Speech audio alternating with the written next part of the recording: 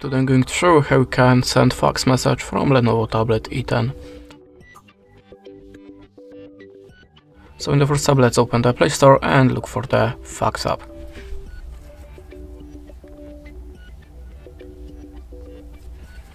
Choose EasyFax, install it and open.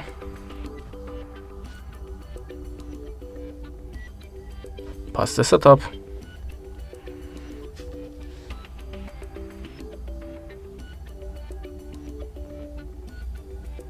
and allow permission.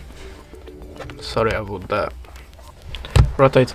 As you can see, I have a free credits banner. If you want to send your message for free, just tap on it and get your free credits.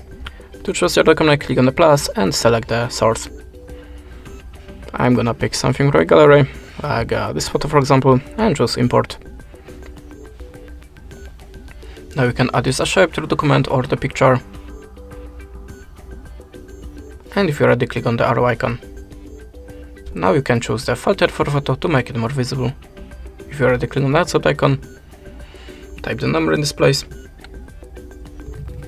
choose the country from the list, and to send this message just click on this button. This is the way how you can do it. Thanks for the watching, leave us a like, a comment and goodbye.